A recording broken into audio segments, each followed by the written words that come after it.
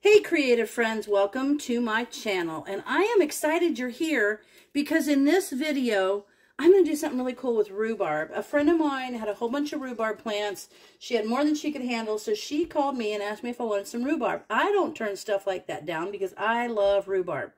Rhubarb, I love just using it in like this jam, but I also just like stewed rhubarb. A lot of people don't like stewed rhubarb, but I love it. I grew up, my dad used to eat it on vanilla ice cream. It was delicious. Anyway, so in this video, I'm going to use some of the rhubarb that I have, and I'm going to make rhubarb orange jam.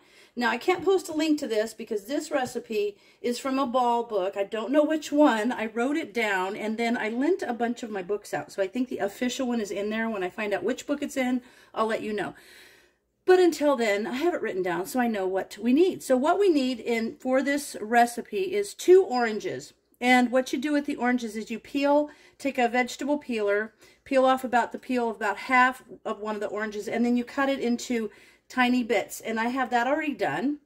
Then you take the juice of two oranges, you juice them, and then put it in a container, a measuring container, and bring enough water that it's up to like a one cup measure. So that's about, it was about a half a cup of orange juice. So I added enough water to bring it up to one cup. And then you need five cups of finely chopped rhubarb, and I've chopped it in pretty small bits, so I've got that done. And you need a package of pectin. I've got this original style Sure-Jell, and that's going to be fine. And then you need six cups of granulated sugar.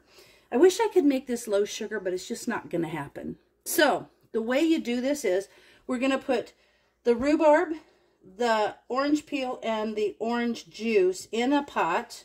I'll do that real quick for you. And then, what we do with that is once it's in the pot. We'll mix it all up. And then we mix in the pectin and actually stir it until it's dissolved. Then, hang on, I can't remember if I bring it to a boil then.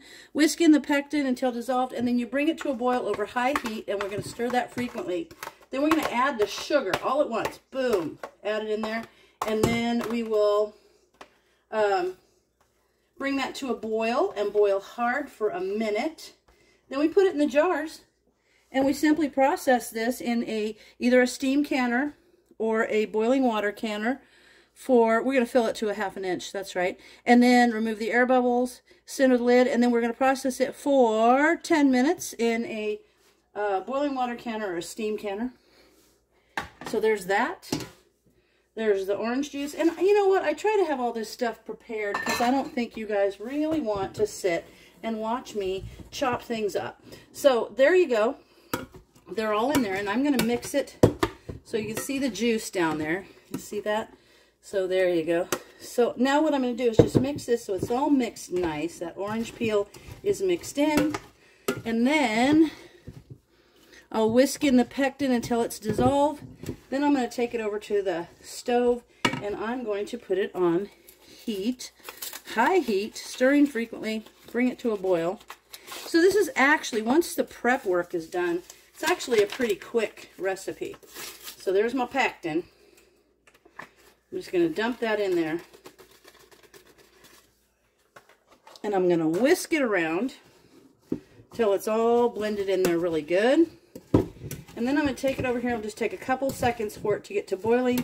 And when it gets to boiling, I will bring you over and I'll dump the sugar in and we'll bring it back to a boil.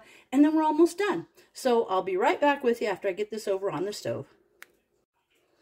Okay, friends, I have to tell you, I'm not a happy camper. I don't know why my phone will just suddenly stop recording, but I did a little bit on putting the sugar in there and letting it dissolve, but I'm going to just try to catch up.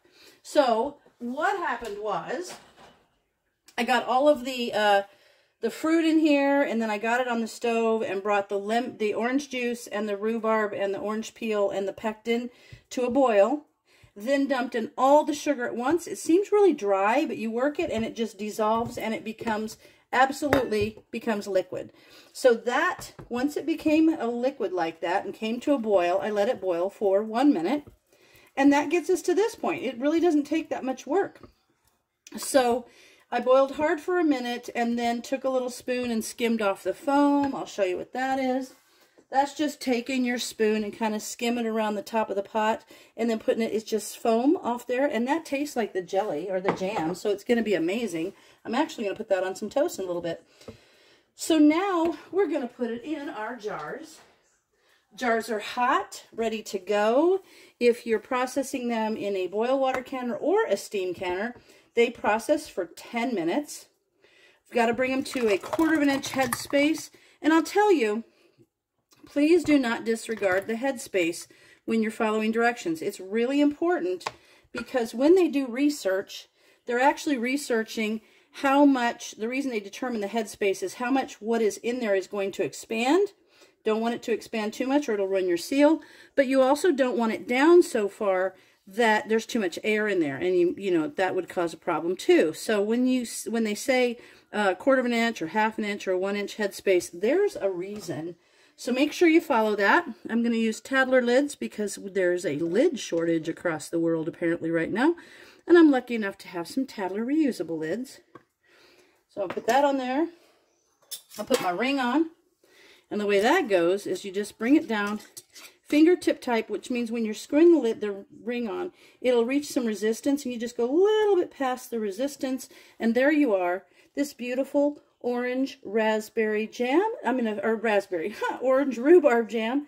And I'm going to go ahead and fill the rest of the jars. I should get about eight from, um, from this recipe, should be about eight of these jars. And then I'm going to put them in the steam canner and let them process for a full 10 minutes. And then I will bring you back and show you the amazing, delicious finished product. All right, there I have my eight jars. Yep, six, seven, eight. Yeah, I thought there was nine for a minute. Anyway, I have my eight jars ready to go. I'm going to put the steam canner top on. I'm going to turn the heat up. And I'm going to let some air vent out of the can, or the, the lid. And then I'm going to watch the dial gauge right here, and I'm going to make sure because of my altitude, it's the little outside line, which is 0 to 3,000 feet, the blue line, we're zone 1. It'll go around to the dark green section. When this is in the dark green section, I can start timing it, and I'll time it for 10 minutes. So I'll bring you back when it's done. Okay, creative friends, there we are. Eight fabulous half pints of amazing orange rhubarb jam. Look, it's got a really zippy, tangy flavor because of the rhubarb. Look, there's a little bit of orange in there. It's got that orange flavor, and it is absolutely delicious. And actually, I have a potluck on Friday at work. Thinking about taking a little bit of this and putting it with some cream cheese and spreading it in some celery. And I think that will be delicious and popular. So I'm going to do that. Sorry I missed a little bit of the video where I put the sugar in. Um, I don't know what happened to my phone. It just turned off and I didn't realize it. So sorry about that. But thanks for watching anyway. You know, as always, thanks for watching. And if you're new here, thanks for stopping by. If you take a minute to like and subscribe, I would really appreciate that. And, of course, I'll see you in the next video. And here's a little spoiler. I think it's going to be stewed rhubarb. So we'll see you then. Thanks for watching.